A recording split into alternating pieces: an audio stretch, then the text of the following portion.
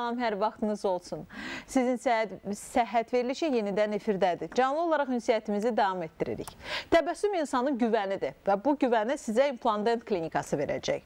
İmplantdent klinikasının rəhbəri, Azərbaycan İmplantoloqlar Cəmiyyətinin sədri, tibb elmləri namizədi doktor Cabbar Həsənov qonağımızdır. Salam doktor. Salam, xoş gördük. Canlı olaraq ünsiyyətimizi davam etdiririk və suallarınız olsa implantla bağlı və ya dişlərlə barəsində 012 510 38 06 nömrəsinə zəng vuraraq ünvanlaya bilərsiniz. Doktor, e, tez-tez verilən suallardan e, biri də implantın növləridir. Yəni implantın e, firma növləri və onların formaca bir-birinə oxşuyurmu, yoxsa yox? Yəni implant növləri formaca bir-birinə oxşuyurmu, yoxsa yox? Yoxsa bu onların markalarından daha çox asılıdır? İstərdim biraz bu haqda danışaq. Ee, Bilirsiniz, dünyamız o qədər inkişaf eləyib və dünya artıq deyirlər, balacalaşıb, kiçilib. Ona görə ki, bütün informasiyaları əldə eləmək çox asandır. Eyni ilə də bu e, istehsalda da yəni bir-birinə çox bənzəyir. Və dünyada öndə gedən e, firmalar var. E, implantasiya istehsalında 50 il, 60 il təcrübəsi olan firmalar var.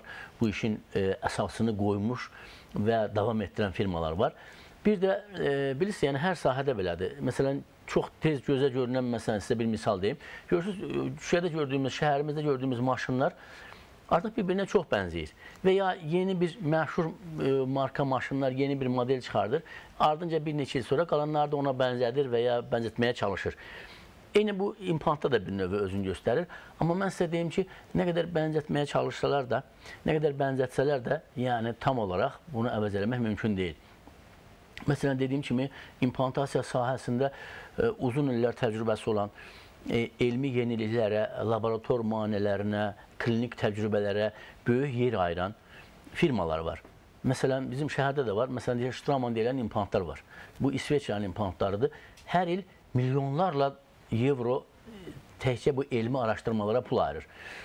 E, onun araş elmi araşdırmalara apardığı büdcə digər firmaların bütün büdcəsindən belə çoxdur. Və e, İsveçrədə bir çox universitetlər yalnız onların implantlarının araşdırılması ilə məşğuldur. Və o səbəbdən bu gün dünyada çox irəlidədirlər. Və yalnız e, məsələn yeni bir e, implant səhti çıxardılar, yeni bir implant materialı çıxardılar və s. Və bunları patentləyirlər təbii ki və 20 il bu patentdən kimsə çıxa bilmir, kimsə istifadə edə bilmir. Xarici quruluşa bənzətsələr də e, adını bəzən belə yanlış belə yazsalar da amma patentli olduğu üçün 20 il belə kimsə istifadə eləmir. Və düşünün ki, o implant sistemi bu birlərindən ən azı bir 20 il öndədir. E, amma dediyim kimi, artıq bu e, dünya bir-birindən çox kontaktdadır. Çox konfranslar var, sərgilər var, e, texniki sahəyə əhatə olunmuş belə bir konfranslar var. O səbəbdən bunlar bir-birindən çox yaxın olduğu üçün hər bir firmanın elədiyini digərləri də mənimsəyə bilir və eləyir. E, ümumiyyətlə, hər bir firmanın etdiyi implantlar fərqlənir. Az və ya çox dərəcədə fərqlənir. Və firmaların e, istehsal elədiyi implantların forması e, o firmada işləyən, onun əsasını qoymuş və ya o firmada işləyən sözsüz ki, bir çox həkimlərin orada böyük rolu var. Və o həkimlərin e, implant sahəsində biliyi, e, tətbiq eləmək istədiyi mövqelər, məqamlar, hamısı orada öz əksini tapır. Bu səbəbdən də yəni implantlar da bir-birindən fərqlənir. Amma ümumi konsepsiya indi demək olar ki, bir tərəfə gedir və bir-birinə çox yaxındır. E, bunları e, məsələn qiyməti ilə də müəyyən qədər e, bəlli eləmək olur. Və ya indi internetdə hər şey çox açıq şəkildə tapmaq asandır, rahatdır və internetdə bunları müqayisə eləmək olur. Yəni e, hansı səviyyənin implantıdır? Yəni doktor, firmalar fərqli olarsa dəyişkənlik nədən ibarətdir? Ən çox, yəni e, siz e, bu materiallarla işləyirsiniz və daha çox bilirsiniz hər halda. Yəni nə məsləhət görürsüz adətən öz e, xəstələrinizə e, implantla bağlı? Baxın, dünyada e, deyirlər ki, 2000-dən yuxarı implant istehsalçı firma var. Bəli. Bəllidir bunlar kimsə də bəlkə heç dəqiq saymayıb, amma belə təxminən belə hesab eləyirlər. Və bunların hətta yeniləri açılan var, sonradan açılıb bağlananlar var, filan var. Yəni dəyişir. Amma o üst səviyyədə olan e, implantlar, bunlar məsələn elə implant var ki, mən onu 20 ildir istifadə edirəm. və onun satış stilində, bir servisində e, bir narazılıq yoxdur, bir problem yoxdur. İmplantların işlənməsində, onların sümü ilə birləşməsində, inteqrasiyasında bir problem görmürəm. 20 il əvvəl qoyduğum implantları bu gün sanki dünən qoymuş kimi görürəm. Yəni sözsüz ki, bunlar keyfiyyətin məhsuludur. Keyfiyyət də nə ilə ölçülür? Bilirsiniz, e, implantın e, implantlar əksəriyyəti titandandır. Amma bunların e, orqanizmlə kontaktda olan, sıx təmasda olan səhti var və bu səhtin işlənmə mexanizmləri var. E, bunlar təbii ki, hər firmanın özünün sirridir. Əksər hallarda gizli saxlanılır və verilmir.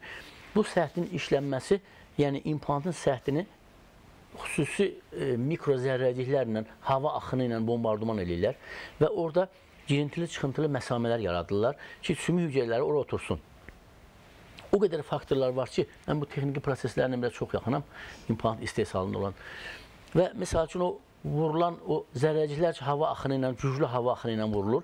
Görmüş olarsınız, bu binaların üzünün daşlarını ağardırlar, təmizləyirlər. Ona bənzər bir şeydir. E, və o hava axının sıxlığı, hava axının sürəti, zərrəciklərin ölçüsü, zərrəciklərin temperaturu, e, zərrəciklərin materialı, hər şey buna təsir edir.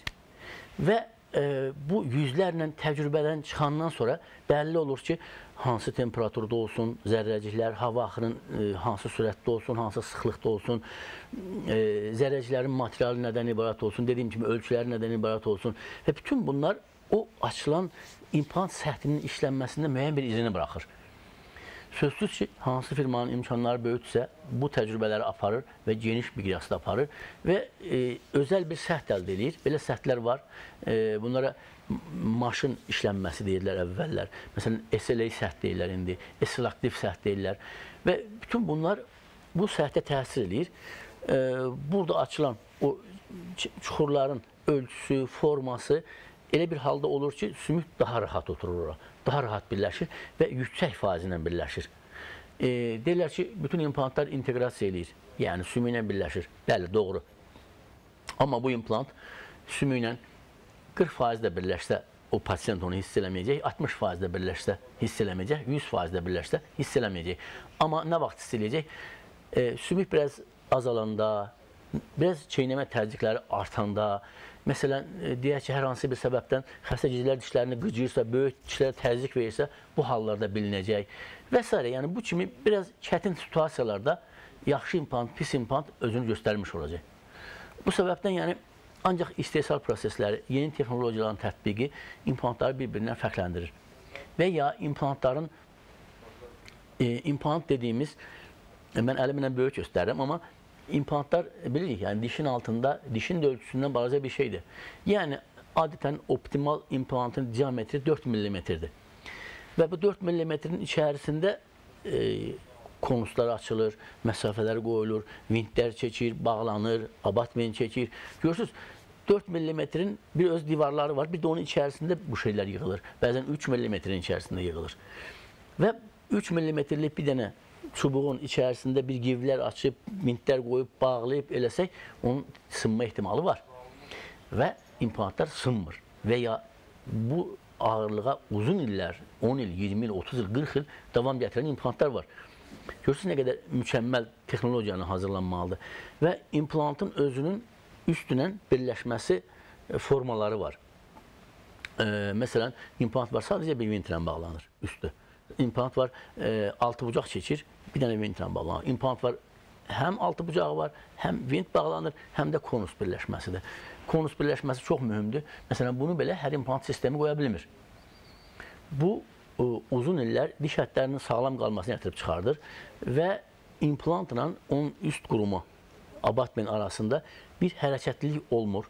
E, o yüzden də hərəkətli olmadığı üçün implant qırılmır, çatlamır və uzun illər dediyim kimi bir ömür az qala problemsiz yaşanır. Doktor, e, bir söz soruşum. İmplant qoyulduqdan sonra neçə ay sonra xəstə e, yəni müayinə üçün yaxınlaşmalıdır və nəyə görə yaxınlaşmalıdır müayinəyə? Yəni siz nəyinə baxacaqsınız onun e, tam olaraq oturmağına mı? Diş, yəni dişlə bağlı nə problem yarana bilər məsələn? İmplant qoyuldu və siz deyirsiniz ildə 2 dəfə xəstə mütləq olaraq həkimə yaxınlaşmalıdır. Ah, istifadəsindən sonra. Bəli, bəli, bəli. E, artıq istifadəyə verəndən sonra e, pasiyent nə vaxt yaxınlaşmalıdır? Bəli. e, bir hər hansı problemi olarsa, hər hansı narahatçılıq hiss eləyirsə, bir dəyişiklik hiss eləyirsə, elə həmin günü. Bəli. Amma yox, hər şey yaxşıdırsa, e, tam normaldırsa, 6 ayda bir dəfə gəlməsini istəyirik. Və e, bilirsiniz, yəni bütün xəstəliklərdə belədir. Xəstəliklərin başlanğıc etapında insanlar onu hiss eləməyə bilir.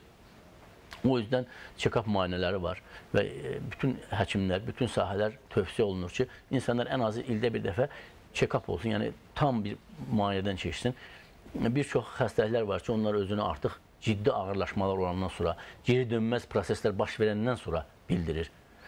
Amma həkim müayinəsinə izləndə həkim onun ilkin belə başladığı anda belə görə bilir və qarşısını ala bilir. Yəni e, dişdə də belədir. Müəyyən xəstəliklər var ki, pasiyent onu hələ hiss eləməmişdən öncə həkim onu görə bilər, hiss eləyə bilər və hər hansı bir müayinə e, müalicə tədbiri görə bilər və proses böyüməmiş olar. E, bəzən də e, insanlar fərqlidir.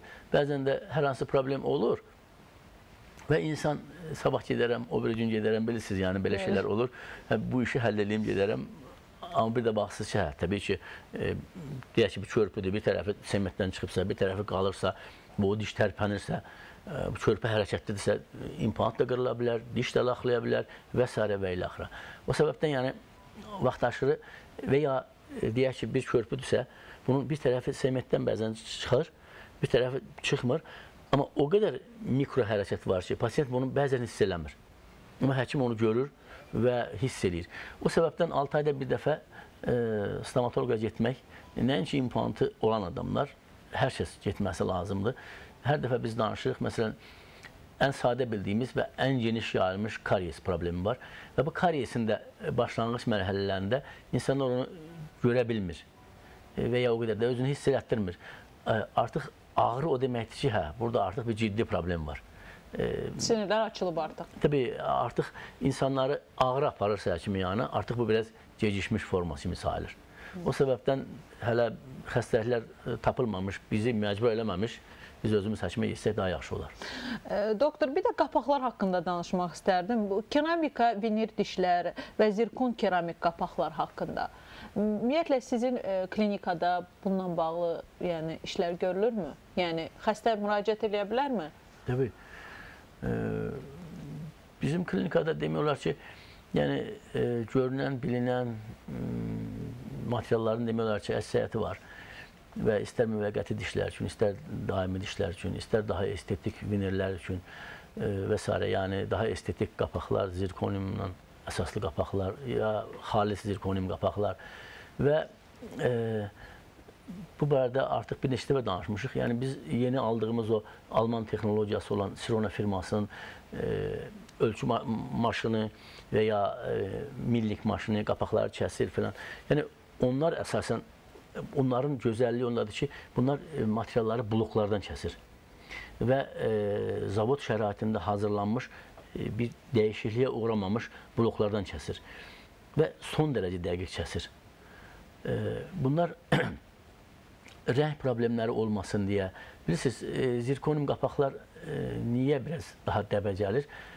E, bu farfor dişlərin bir çox hallarda əsası metal olur və üstü farfor olur və dişin əsasən də boynunda, dişin diş ətinə çəkən hissəsində bir çox hallarda rəng yansıması olur. Rəng özünü hiss elətdirir, metal rəngi özünü hiss elətdirir.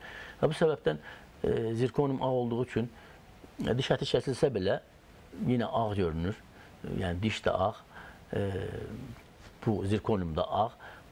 Zirkoniumun özünün belə fərqli rəngləri var.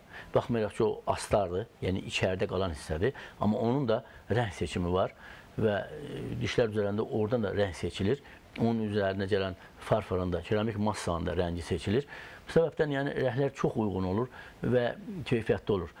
E, vinirlər yenə də bir çox materiallardandır. Bunlar artıq stomatologiyanı biraz e, daha estetik yapardı, daha gözəlləşmə yapardı. Və e, bilirsiniz, hələ biz e, 1980-lərdə belə indi vinir dediyimiz şeylərə e, yarım qapaq deyirdik, ekvator qapaq deyirdik. Amma əlimizdə olan texnikalar, texnologiyalar, e, yonma vasitələri, yonma maşınları, o ucluqlar e, bu işləri icra eləməyə imkan vermirdi.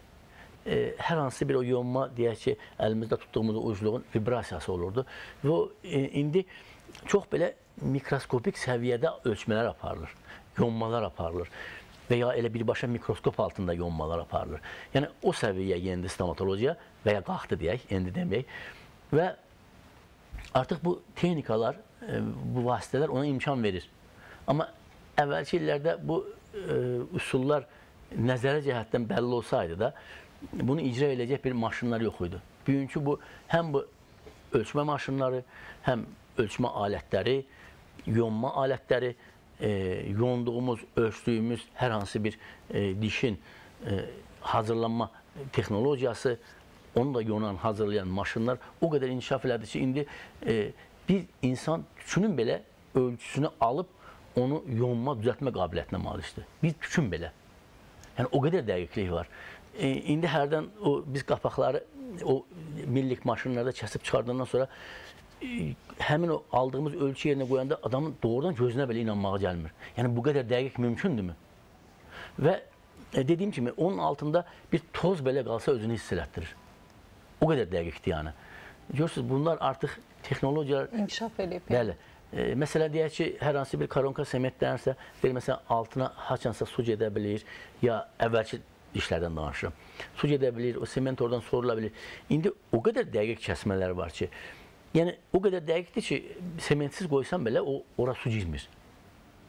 Və e, sement dediyimiz artıq e, dəftər vərəqindən də qat-qat nazik bir sementlə, qat-qat nazik dəftər vərəqindən bir sementlə sementlirik. Çünki o qədər məsafə qalır bu aralarda. O qədər dəqiq işlənir. Anladım doktor.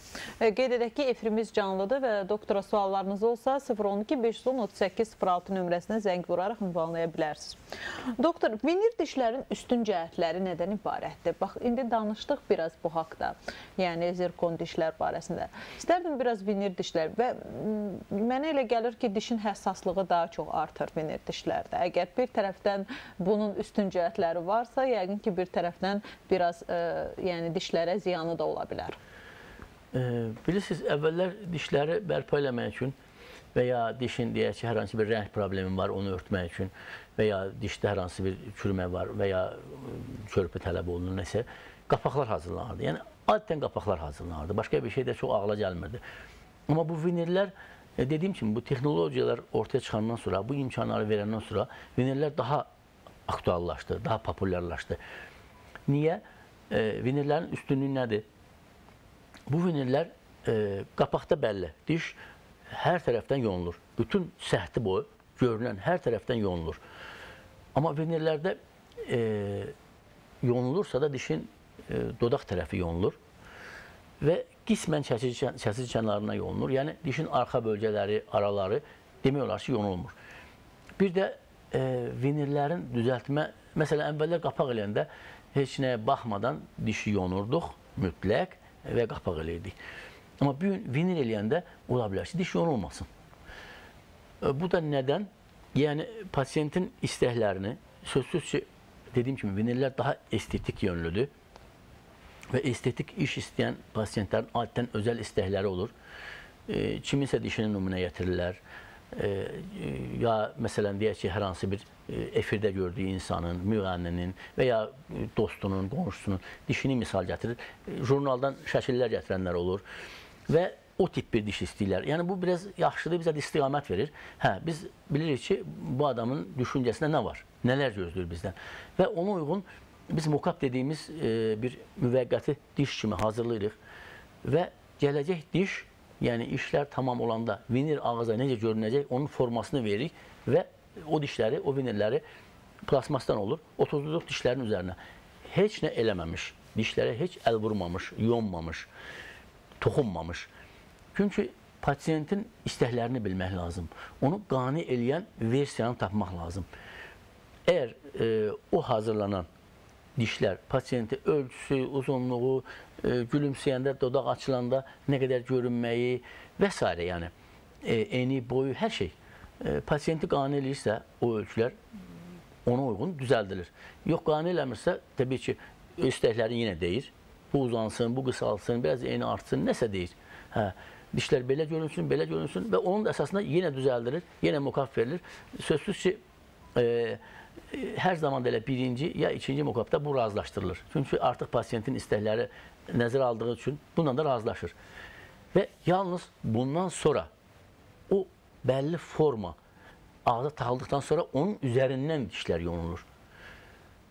Ö- Onun özünün bəlli qalınlığı var və vinirlərin də qalınlığı o qədər çox olmur. Yəni o hazır konstruksiyanın üzərindən standart borularla, yəni ölçüsü üstlərində olan e, bir borularla yonulur ki, orada artıq yonmaq belə mümkün deyil. Doktor, vinirlər ömürlükdür, yoxsa onlar da müəyyən vaxt keçdikdən sonra dəyişdirilməlidir? Əslində bizim bədənimizdə istər təbii, istər suni ömürlü bir şeylər çətin məsələdir. E, və vinirlər e, vinirlər mən sizi inandırım ki, semiyyətdən çıxmır demək olar ki, bəzən çıxarmaq lazım onda belə çox çətin olur. Və e, biraz insanlar diqqət eləsə, pasiyent diqqət eləsə, çox sərt şeylər e, kəsməsə, qırmasa, e, çeynəməsə, vinirlər çox uzun ömürlüdür. E, rəngin də dəyişmir. Yalnız zaman keçdikcə diş ətləri müəyyən qədər yuxarı dişlərdə yuxarı gedir, diş ətləri aşağı dişlərdə zaman-zaman uzun illər ərzində aşağı gəlir və müəyyən dövrdən sonra təbii ki, bu vinirlərdə estetik baxımdan dəyişmə məsələsi ortaya çıxa bilər. Daimi onsuz da bir şey yoxdur.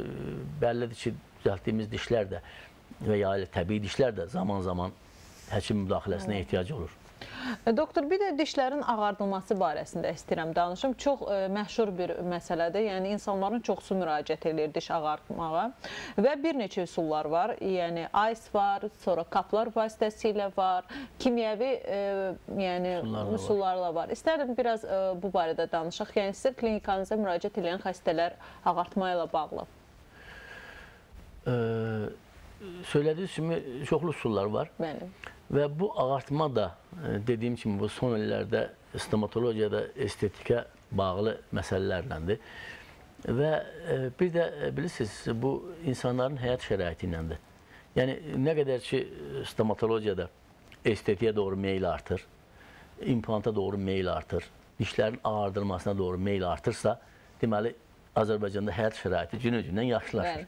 İnsanların maddi durumu, düşüncəsi, e, gözəlliyə can atması e, təbii ki, yaxşı əlamətlərdir.